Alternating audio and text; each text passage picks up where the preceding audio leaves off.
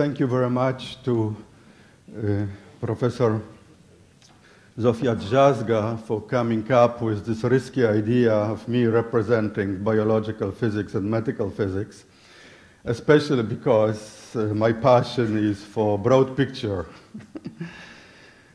um, so the title of my talk is uh, Structural Entanglements in Proteins and Their Complexes. And uh, this work was done with many people. I would, I would like to show a picture of some of them. So the most, oh, I'm sorry, something went wrong. Uh, oh, okay.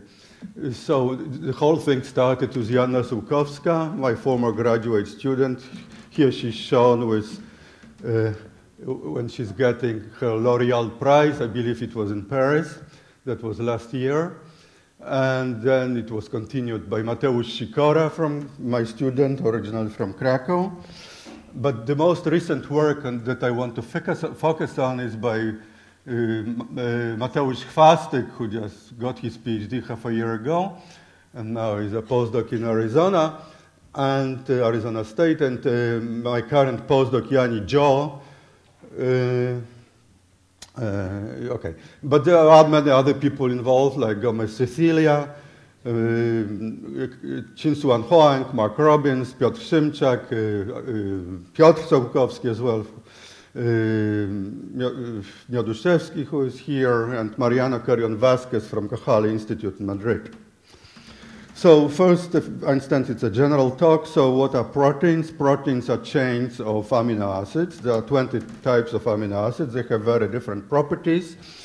And some of them like water, some of them do not. And when you place this in water, then often you get a globular structure that most that uh, biologists are very familiar with. And that's one example. And this is an atomic representation of this. Uh, however, if you focus on the backbone, then you can isolate easily secondary structures like alpha helices and other things that I won't mention. And this, um, so this backbone twists and turns. However, it doesn't tangle, doesn't make knots. And I want to focus on some, usually that is. Uh, but now there's like more than 1,000 structures in which actually do observe knots, and that's what I would like to discuss later on. However, uh, oftentimes, when you mm, have this chain, it doesn't really fold to this one unique globular structure.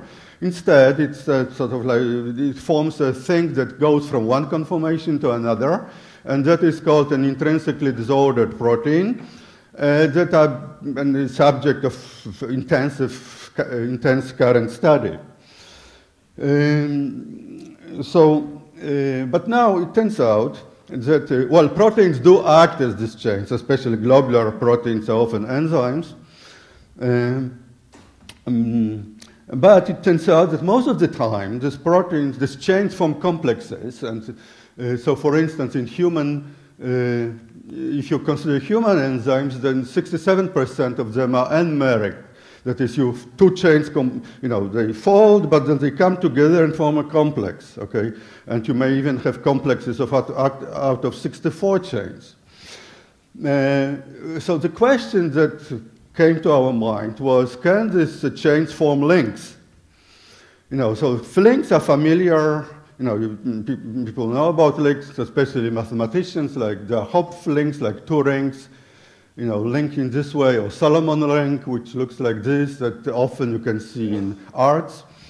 Um, but can protein chains be entangled is the question, you know. Well, there's one difference which is crucial, that is proteins have ends. One end is called N-terminus, and the other one is called C-terminal, C-terminus, so they don't form a closed loop. So the notion of an entanglement in such chains has to be approximate because of the lack of closure. But we still gave it a try, and we consider, I mean, there's a mm, depository of protein structure, which is Protein Data Bank, which has nearly 300,000 structures by now, so it's a huge set. Uh, but we looked at 10,000 of them, and are chosen arbitrarily. There are some codes associated with this. And so we look at some codes, and it turned out that 8.6% of them are entangled. Uh, and how do you tell whether they're entangled or not? Well, if you take two chains and you try to pull them apart, then do they stay together or do they tangle and don't separate? So that's what they did. It's not quantum entanglement, I'm sorry. uh, still, it's an entanglement.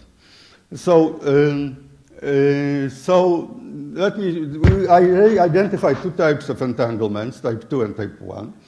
And so how do you distinguish them? Well, let's say you have, this is one chain, and it goes from terminus N to terminus C. That's shown schematically in blue. And there's another one between N prime and C prime, okay? And then let's say you anchor N and C, keep, and then you pull by N prime and C prime. Then, I'll tell you later how we pull, but uh, basically when you do that, say in this way, then it turns out that, that if, you, if you keep it anchored, then, it's, then you just cannot separate them. They, they, they are linked together for good, okay? Now if you do the opposite, that is you anchor N prime and C prime, then you get same thing. No, again, you cannot separate. And if this is, happens, then we call it type 2 entanglement. And two, well, because it's less common than type 1. And in type 1 is that if you do it one way, it separates, but if you do it the other way, it does not. Okay? So it's not, um, and actually most of them are type 1. Um, still, okay, so this is a lobster left. That's kind of an entanglement, you see, of type 2. And type 2 forms 15% of the cases that we studied. But this whole thing is related to the linkage number, which tells you if you have one curve and another, then how many, then how many, what is the number of times that one curve winds around the other? And that it would be calculated mathematically that's by doing this Gauss's uh, uh, integral. However, it's well defined for closed loops which we do not have. So we have to close it arbitrarily. And if you close it one way, and if you connect and we see, say, under this protein this way or this way, then we get different linking number, the two or one. Here it means that you make two turns, that one chain makes two turns around the other.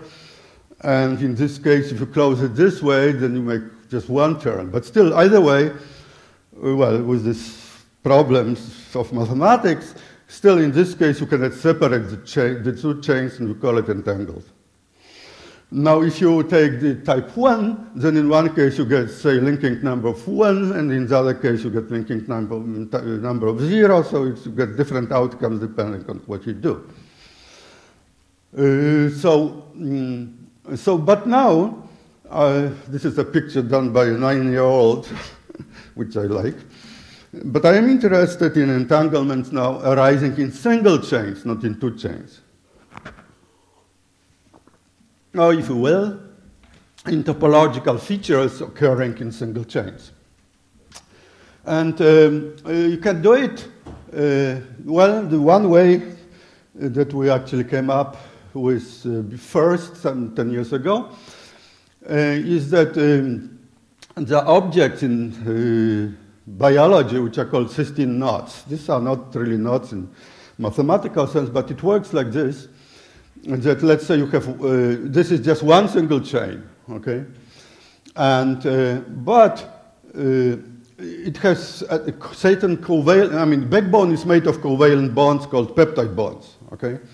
But this, there are certain proteins which are, have additional covalent bonds, which are called disulfide bonds or cysteine bonds, okay?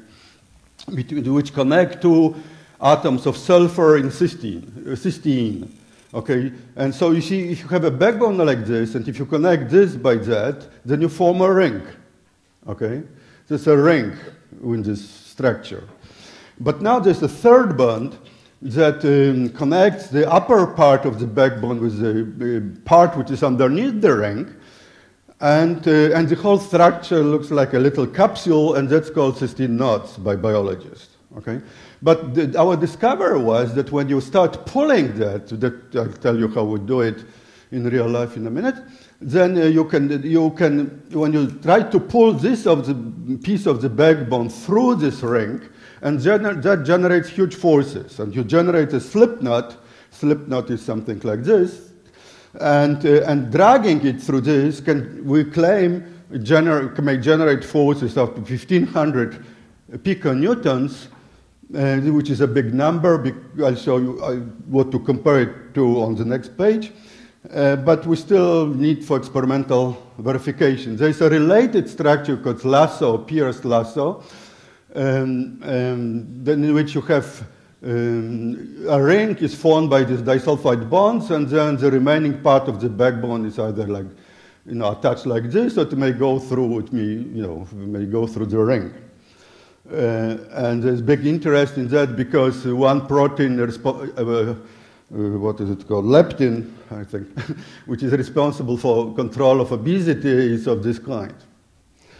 Uh, so now, uh, what, how, what do you do, how do you stretch it experimentally? Well, there is a thing called atomic force microscope, and in the biological context, it was actually, I believe, developed in Ludwig Maximilians University in Hermann Gaub's lab in Munich. And so you anchor one end of a chain of proteins, and you attach it to cantilever of the AFM and you pull, and the workhorse of the studies was titin, which is a muscle protein, and the typical for, the, the there's a characteristic force, which we denote by Fmax, which uh, basically describes the mechanical stability of the protein, and for titin, which is 200 piconewtons. Okay? Whereas, uh, well, there are some studies of spider capsules, uh, I mean, various pieces of the silk, of spider silk, and the largest number I've seen was 800 or 900. But generally, you know, if you have 400, that's a huge number in the world of proteins. And usually, this is related to shear. You know, if you start pulling, say, titin, then you pull this to the right, you pull this to the left, and there are bonds called hydrogen bonds between this strand, piece of the strand, and that. When you start pulling, you generate shear. And if you rupture many bonds together, then you, like in titin, like six, seven hydrogen bonds, then this is when you get like 200 piconewtons. Whereas if you take DNA and pull by the whiskers, you know, the double helix, then you get forces only of 15 piconewtons because it's not shearing, it's rupturing one bond at a time. So you get much smaller forces. But in this uh, cysteine knots, uh, what you do is there's a very different mechanism. It's not shear, it's sort of uh, working against, against the steric constraints. Uh, so maybe let me skip that. Uh, but now there's another category of topological effects, knots. Not cysteine knots, but by knots, but knots without any extra covalent bonds. And again, there's a mm, uh, an approximation here. That, this is an example of one, the simplest knot denoted by 3-1, which is called trefoil. Uh, that's mathematics, but in proteins, there's no, there's no closed line. Okay, so it's cut, that's why I denoted it by that. And uh, so, and right by now, we know there's at least 1,000 protein structures in the PDB. And there's a database created by Sułkowska and her people at CENT now which lists them all and the properties. Mm, and there is a big debate on what is the role of the knots, and, uh, but that involves biology, so I don't want to discuss it now. Uh, but uh, one obvious thing is that may enhance stability of the proteins. But if I, time permits, I want to argue that it may be related um, to some neurodegenerative diseases. Uh, so, uh, first of all, you, well, how do you know if you have a knot? Well, at least one algorithm that was proposed, but it's not perfect. It may miss knots, but if it finds one, it's fine. Uh, that's called um, KMT algorithm after these names. And so basically, one, you have a structure which often is huge and it's hard to know what is what. That's why the first knot was discovered for really in 1994 was proposed that maybe you have knots even though the structures existed before, but you have to look at it to see if there were not. Uh, so basically, you want to reduce the structure to something simpler. So you do it in steps. So you consider three points.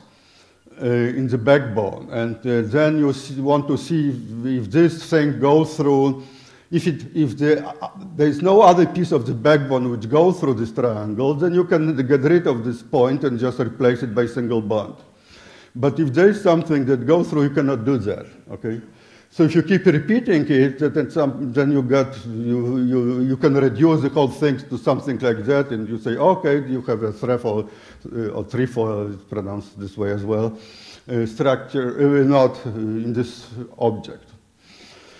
Now, uh, now you can distinguish between deep knots and shallow knots, and so if you you may ask what are the knot ends. So if you keep repeat, you can you you find that there is a knot somewhere, okay? But then you cut out uh, one bond at the end, here and there, okay? And at some point, uh, you know, if you keep cutting, the knot will disappear, okay? So the last stage is the one which defines the knot ends, okay? So the knot, oh, I'm sorry. So the knot ends are, you know, they are far away from the terminal points, like in this case, this is one um, this is this methyl transferase uh, with this name, and the structure code is this one. It's a deep knot. It's an example of a trefoil knot. these ends are far away. But if you take this hydrolase, then it turns out that at least one end is very close to the terminus, and that's very easy to you know, untie or tie and so on because the tail can wiggle. The question is, you know, how to fold to a structure which has a deep knot is highly non-trivial. Uh, so mm, much of this um, study was done theoretically using a coarse-grained model in which you represent amino acids by beads, uh, which are separated by the length of the peptide bond roughly. But then this is not a protein yet. You need to assign certain attractive contacts to it so that it falls to a globular structure if it is a globular structure. We also work on how to make such a model for disordered proteins. So, uh, so if you do have a native structure, then you can uh, read it in and uh, assign van der Waals um, volumes enlarged by a factor to individual amino to atoms that form amino acids, like in this code. And then if you see that these enlarged volumes overlap, then you say, okay, there's an interaction uh, between the two, which we call a contact.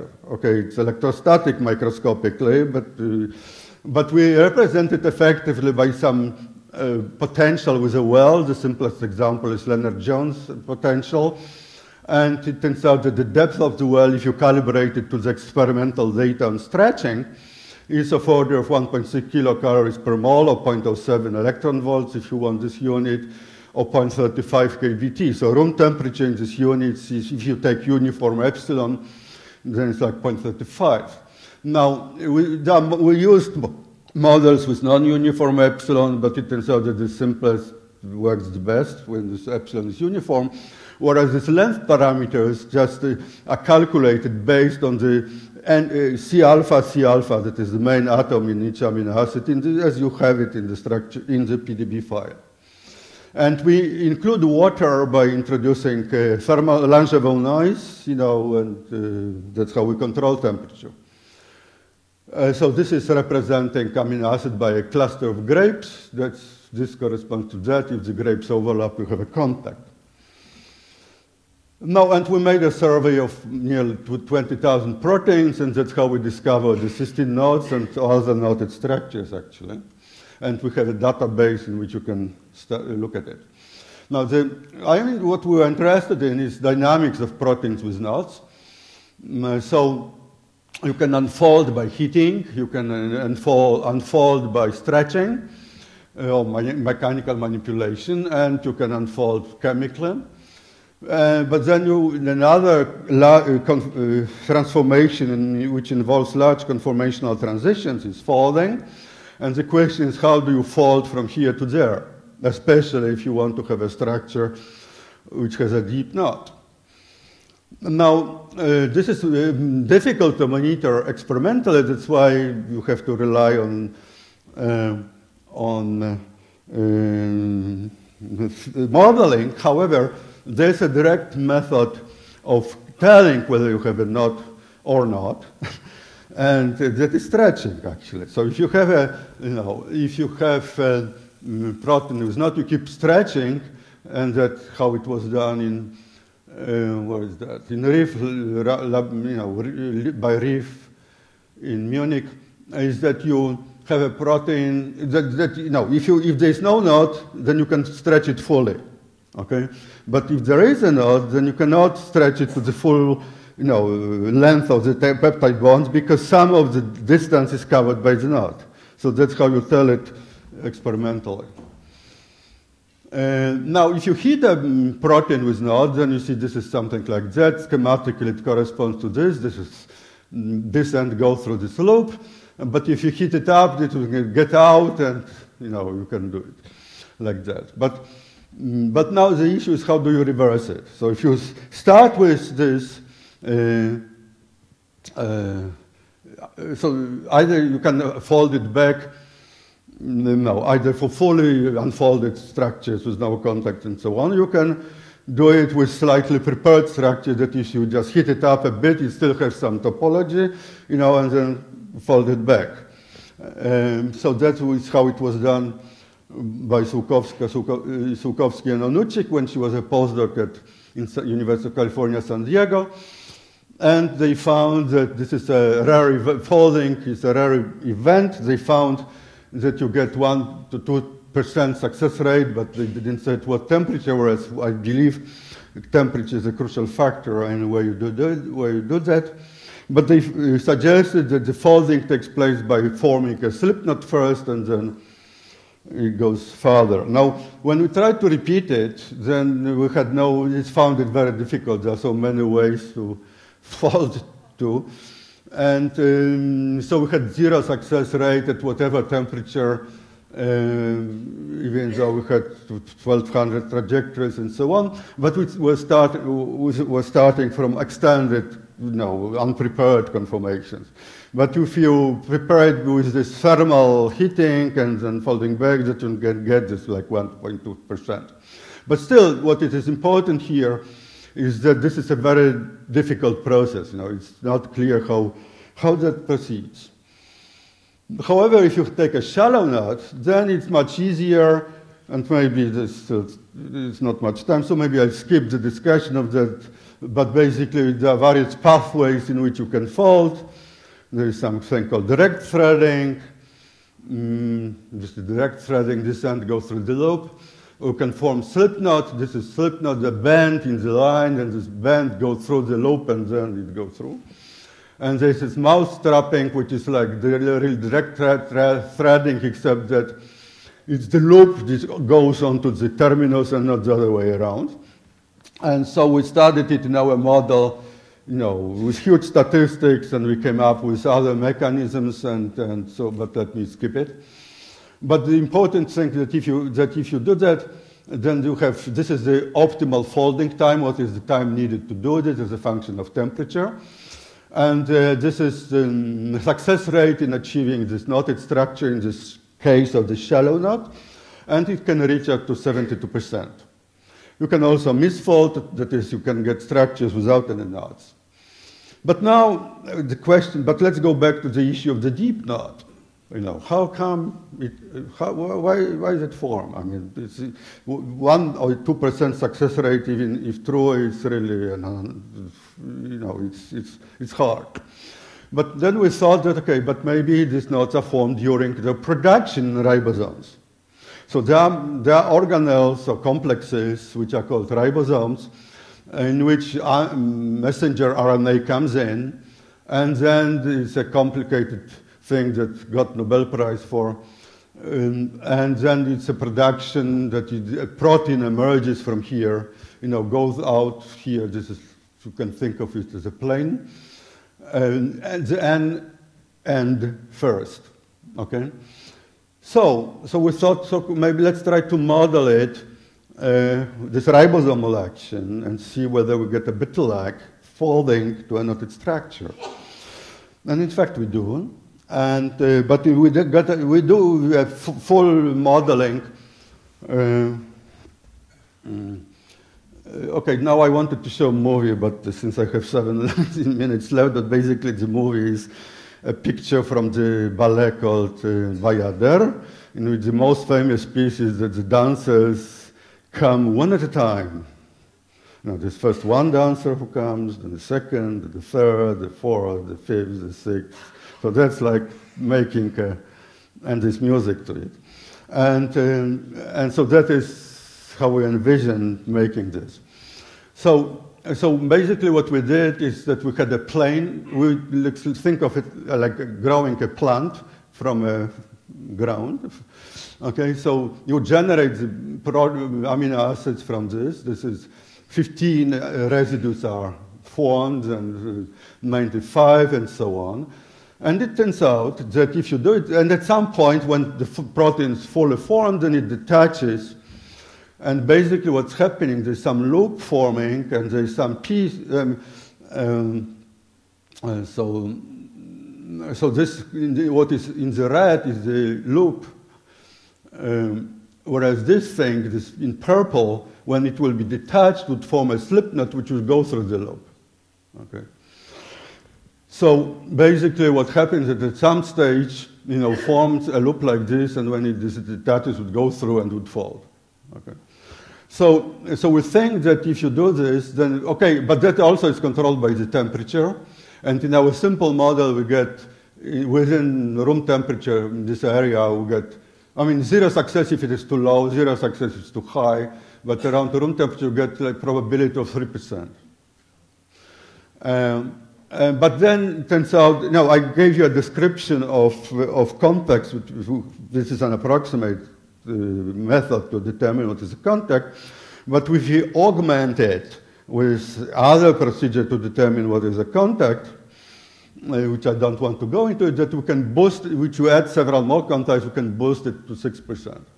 So the suggestion is that if you have deep knots, then the action of the ribosome may actually help to form it. Whereas if you have um, uh, shallow knot, then it's not essential to have ribosome. It does, it does boost the product, success rate from 72% to 83%, but it's not essential for it to form. Uh, so now, um, this is a circle of life, so we discussed production of proteins, but now there's a degradation. So proteins, when they are not needed anymore, have to be degraded. And that's done by complexes called unfoldases, and it has various names in various organisms. And this uh, degradation can be selective or non-selective. Um, but so I'm interested in selective degradation. So in bacteria, these uh, unfoldases are called CLP or LON. And eukaryotes, it's called, they are called proteasomes, and there's one common structure which has a symbol, 26S for it. So I call, I call it generically a proteasome. Okay? So this is an example of a proteasome, and it has uh, two parts. It's a regular, regulatory particle and a core particle. In the core particle, you have digestion or, the, or degradation, that is cutting of the chain into individual amino acids so that they can be reused. Okay?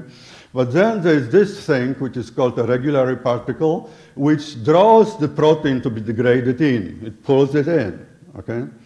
And it's ATP controlled and so on, but I don't have time to explain all this. Uh, but, uh, but this was studied, for instance, at Berkeley.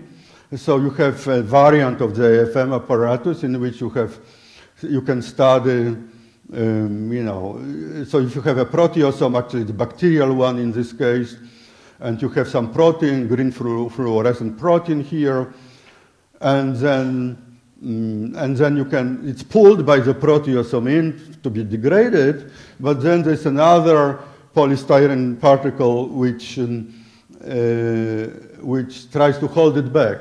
So can, if you keep pulling this to the right, that you can measure the stalling force right? At what, at some point you can prevent this protein from going into, okay? And they measured some um, stalling force for the 20 piconewtons. And the, as a byproduct, you can also measure what, what is the speed of degradation. It is of order of 80 residues per second. Now, uh, so this is a complicated and huge object, so all atom simulations seem hopeless in this context.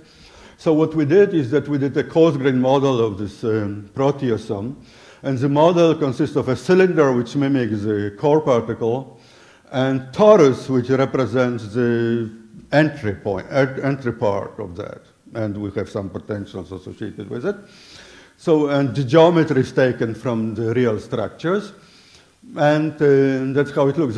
So basically, so basically, the model is geometry, a funnel made of a cylinder and a torus, and there's a pulling force which mimics this dragging in related to degradation. So degradation is a chemical, chemical thing. We cannot model it in a coarse-grained model like ours.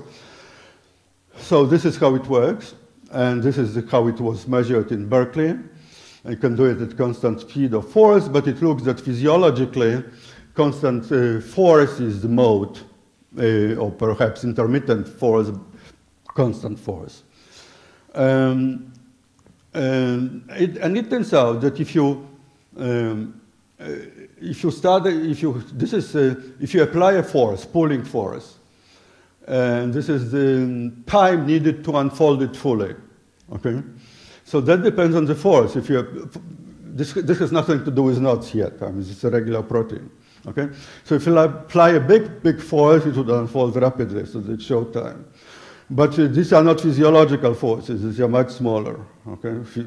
So, so the time scale would grow so that it would show that it's in the proteasome. And this is the curve in the absence of proteasome. What would be the corresponding effect of the similar force when you have no proteasome? So you see, generally, if you have this thing, then you, the time scales are much shorter. So proteasome facilitates unfolding. Uh, because shearing becomes unzipping, you know, to separate the two parts, and it's harder to, you know, if you fold protein, uh, unfold proteins, and uh, without proteasome it refolds, and uh, you know, whereas this is prevented in the proteasomes, it's much faster. But now um, uh, we're interested in knotted proteins. So let's say that you have a knotted structure. What would happen then? And uh, so it turns out it's much harder because it's not, knot may jam proteasome. The thing may get stuck. So we'll lay, you wait for a long, long time and nothing happens. This is the end-to-end distance. And uh, so nothing happens for millions of our units, uh, where tau incidentally is of order nanosecond. And, um, and what sometimes there will be jump, but it never unfold fully, okay, because of this. These are proteins with knots. Uh, now, why is it relevant uh, in the context of neurodegeneracy, perhaps, or we think it's uh, relevant? Well, it turns out uh, that, um, uh, so there are many, many neurodegenerative diseases. One of them is called Huntington. And, um, and, and it, it has um, protein involved, huge protein of 3,000 residues and a part of it, uh, and, uh, but it has a segment called exon 1, which has a, what is known as polyQ tract. That is a chain of polyglutamines, identical uh, residues, identical amino acids. And they may have a helix on one end in real, real life and some turn on the other end. And now, this kind of thing uh, depend, is known experimentally to, uh, to generate, uh, to be responsible for at least nine diseases. And this depends on the length of, of this tract. How, you know, basically what happens is that uh, mm, that in humans, the length of that polyQ tract is for the 16, 20 residues, and then we're healthy.